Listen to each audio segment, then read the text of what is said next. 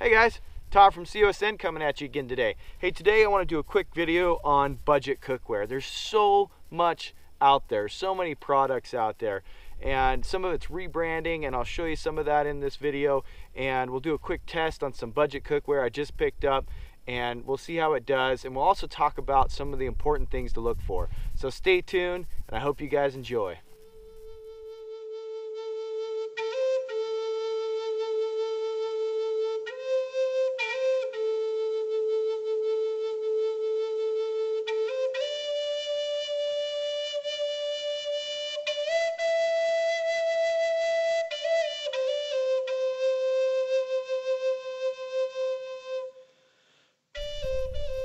All right, guys, so budget cookware. Um, I'm to give you guys just my personal opinion, my rundown on what I look for. There's so many products out there, uh, it just can get overwhelming. So there's three main things that I look for is, is basic size, um, weight, and material. So when you're looking at size, you want to look at, you know, compact. Is it is it to do the job that you need it to do out in the field? Um, you know, for instance, like if I'm going fishing, I'll bring a bigger pan because I know that I'm going to be cooking some fish. So, or if I'm just doing some bushcraft stuff, I'll go with something smaller, more compact, where I know I'm only doing boiled water, coffee, and maybe some oatmeal. So it really does go to the personal preference of the or the job at hand that you're doing, and you kind of look at look at it under the size of the capability. Now weight, that's a big factor if you're doing a four dayer or you know a long uh, hike you know you want to look at weight. And you also of course want to look at that size again to make sure it isn't taking up a bunch of room in your backpack. So weight's a big deal to me and you want to make it as light as possible but still be effective now, going into the next thing is material. Now, there's a lot of arguments behind material. A lot of people, again, have personal preferences, what they prefer and what they prefer to use. So, just starting with basic aluminum. So, aluminum is lightweight, it's affordable, it's a good conductor of heat.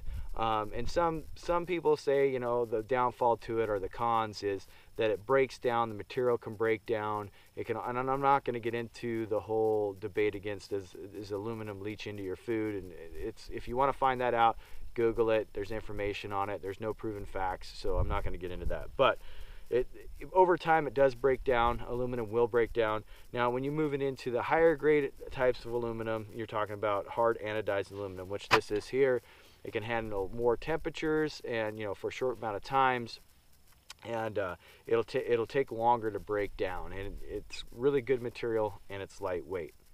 Okay, now moving into stainless steel. Uh, a lot of people like stainless steel. It's tougher, it's more scratch resistant than aluminum, but it's also heavier than aluminum. And it doesn't quite conduct heat evenly, and that's another argument that people make that it does, that it doesn't. But you know, if you look, research it, go into some professionals um, like REI, you can go in there and look at some of their their comments and stuff and say that they don't quite conduct heat evenly, and and I agree with that. Um, but stainless steel, I really like. I have a lot of stainless steel. It's a little bit heavier, but it's going to hold up over the long run. Um, and then we go into titanium. Now, titanium, I don't have any titanium. Maybe I'm too cheap and I have a lot of budget gear. no, titanium's a really, really good material. I do have uh, titanium utensils, and I'll probably end up picking up. I, I got a good friend that's got a titanium kettle. I really like it. It's very lightweight. Um, you know, it's the lightest option basically out there for the strength. It's highly corrosion resistant. I mean, it's just, it's an all around great material in cookware. But the cons to it is it's, it's expensive. Um, it, it's a little bit comparable to stainless on your heat. So the last thing is non-stick coating. Now, I'm not really a big fan on non-stick coating because eventually sometimes it gets scratched up, especially on budget stuff. It gets scratched up and once it starts to get scratched, then your non-stick coating just doesn't work as well as, you know, it should. So I'm not a real big fan and that's me. That's my personal preference. Maybe you guys are, you know, you use your wooden utensils and, you know, whatnot, but I'm just not a real big fan of the non-stick coating. But the real main topic here is, you know, budget cookware. You know, this, I'm to go over this really quick, and you guys probably seen this all over YouTube. This is actually a Stanley Adventure Cup, or pot, and it also, I have a GSI, um, you know, cup on the bottom, fits into that, and then inside I have a, a stove and actual canister. So it's all one piece, it's easy to carry. Um, I can carry it with me. I usually carry this a lot on longer trips or when I'm just boiling water and making coffee. This is excellent to do it with. Um, of course, you know, when you need a pan, when you're doing fish and different stuff like that, this is not going to work the best. And then sometimes I even bring tin foil and just do my fish that way. But this is uh, what I carry most of the time. And this right here is 50 bucks.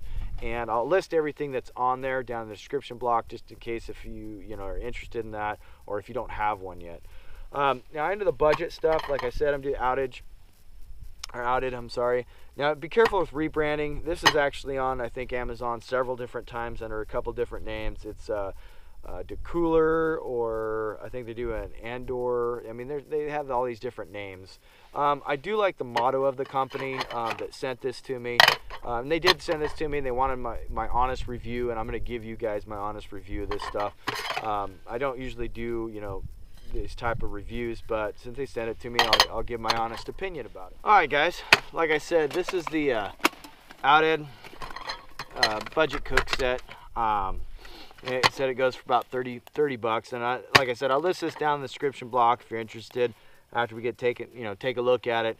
Uh, they said it's 11 piece set. I'll put all the measurements down to the pots down also down below. So um, I'm gonna just go over the main pieces here. It did come, they, they say 11 piece set, but you've probably seen this on Amazon. And I'm gonna be honest with you. I mean, this is, this is crap. All right, this, you just toss that. Um, they come with like little bowls. They're, they're not bad. They're not really breakable. I mean, they're pretty tough, but uh, uh, usually don't use those. Comes a little scrub pad. Um, you can get that anywhere.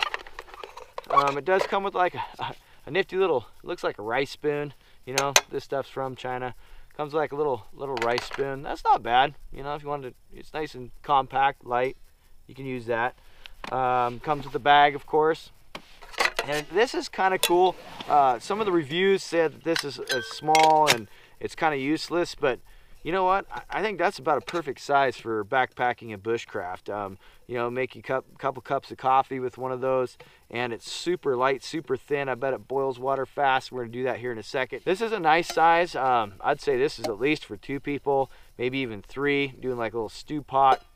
You know, it's a good size little pot. The pan, not quite big enough for fish, but you, you know, maybe cut it in half, do one fish at a time.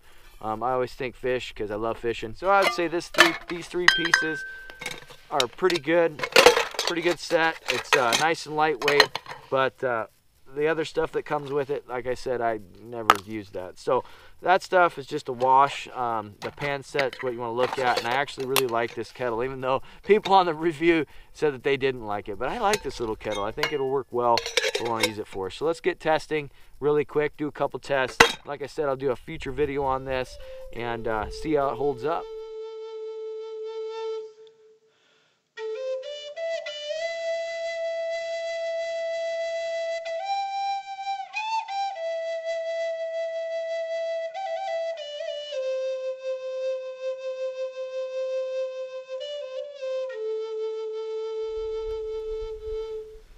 All right, guys, another note. The reason why I'm using a solo stove is to kind of simulate a campfire, not real controllable heat, uh, like your propane stoves, things like that. You can control the heat. I wanted to simulate kind of a campfire uh, setup.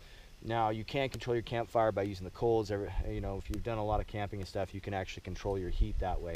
Um, the solo stove, it's really kind of hard to control the heat, but it does work really well and it does simulate a good fire.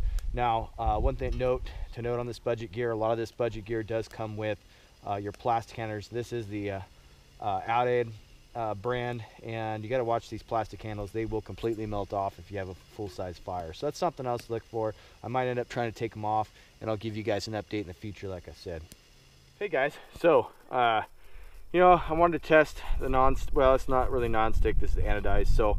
I just wanted to test to see what happened if I dropped an egg in it without any oil and obviously you can see it's pretty well just crusted in there so I'm gonna see, and it was actually a good test because now I'm gonna see how easy it is to clean. So pretty much all I'm gonna do is put water in, heat it up, and use their little scrubber and actually see how well, how easy it is to clean. It cleans up pretty good, pretty decent. Uh, I think it has a lot to do with this little pad that comes with it. Like I said, you're buying the pans, you're not buying the, the accessories that come with it. I'd go, you know, with the Scotch-Brite little pad, and uh, it'd be you'd be way more successful. So we're gonna try this again with the egg test, but with some oil and see how it works out. While this is working with the oil to cook the eggs, uh, I'd probably more recommend poaching your eggs rather than frying them. It's easier cleanup and uh, not a lot sticks to the pan. So that's the OUTAD cook set, uh, budget cookware, and it's it's not bad. It's not a bad setup. I do want to do more testing. I do like the teapot, but I definitely want to do some more testing and see how it holds up over the long run. And it's actually nice to get, um, you know, if you're just beginning or if you just want to get out, get a budget set.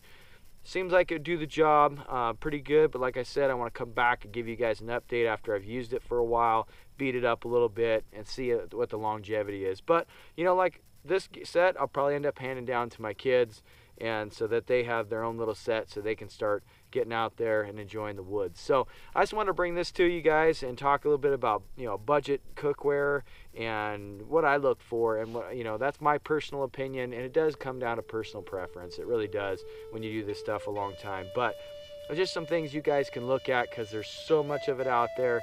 I wanted to bring this to you and hopefully I've helped you out in some way. And if I haven't, that's okay too. So hey, Thank you guys for watching and everything you guys do for me. I really appreciate your guys' support.